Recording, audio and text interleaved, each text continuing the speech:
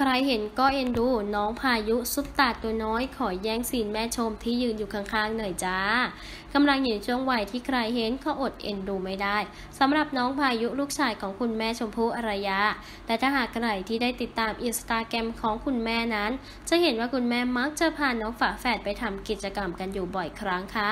หรือแม้แต่ออกอีเวนต์ก็ตามถ่ายรายการก็ตาม ก็มักจะพาตามติดไปด้วยตลอด และอย่างล่าสุดนี้เองคุณแม่ชมได้พาน้องสายฟ้ากับน้องพายุ ไปชมสตูดิโอ และได้อวดอัลบั้มภาพของน้องพายุ ที่มาพร้อมกับทรงผมใหม่ ซึ่งในภาพนั้นน้องพายุก็ฉีกยิ้ม แถมแก้มอย่างยุยมากๆด้วย แย่งสิ่งคุณแม่ที่ยืนข้างๆ เลยล่ะค่ะ